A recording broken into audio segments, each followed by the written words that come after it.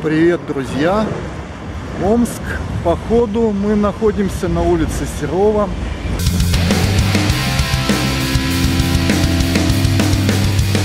Вы можете спросить меня, почему именно на этой улице именно сегодня.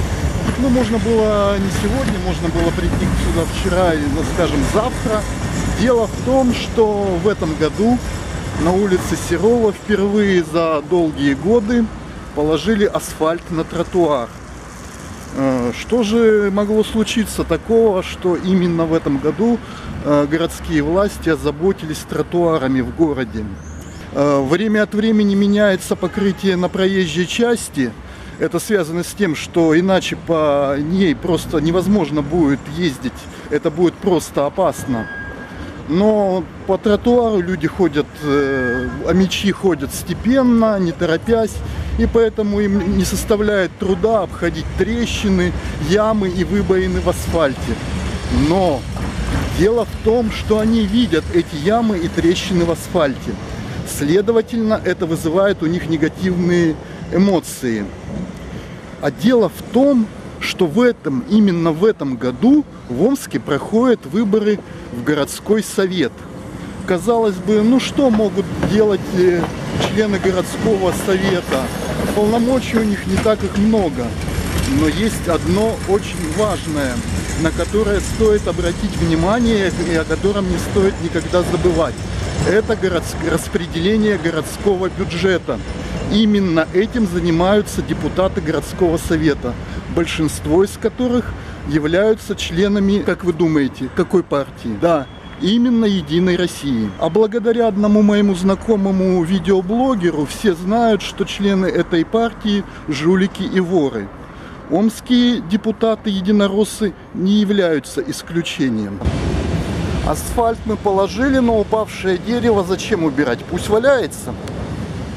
Асфальт, по нему, по его покрытию видно, что положен он недавно. Ложен он именно в пиар-целях, потому что, ну, я не верю, что это случайное совпадение, когда выборы в Горсовет 2017 года совпали совершенно случайным образом с тем, что именно в этот год, в этот год власть решила осчастливить горожан новым асфальтом на тротуарах.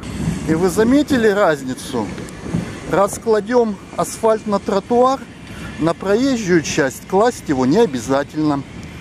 Вот был тротуар, вот проезжая часть, и вот снова начинается тротуар. Асфальт кладется чисто по-омски, в общих традициях омского строительства, то есть халтурно. Я помню, как в советские годы, прежде чем положить новый асфальт, полностью снималось дорожное покрытие с помощью отбойных молотков. Никогда не забуду их звука. Асфальт, причем э, толщиной так э, нормально, сантиметров 10-15. А здесь так как не тротуары, не проезжая часть, а вообще какая-то придомовая территория – можно вообще не обращать внимания на состояние дорожного покрытия и не ремонтировать его никогда. Так, видимо, считает управляющая компания и департамент жилищного строительства города Омска. Не знаю, как в других городах, для Омска вот это типичное кронирование деревьев. О халтурности проведенных работ также говорит отсутствие бордюрного камня.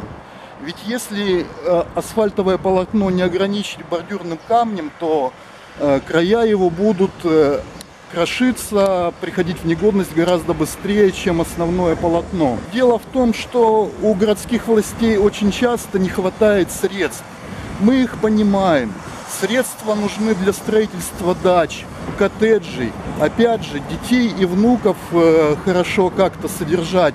Но очень бы хотелось, чтобы все это они, благие эти все дела, они совершали за свой счет, а не за счет нас, горожан. Потому что, ну, мягко говоря, это как-то неприятно и непонятно. Мы-то как-то обходимся для своих личных целей своими собственными заработками, своими собственными доходами.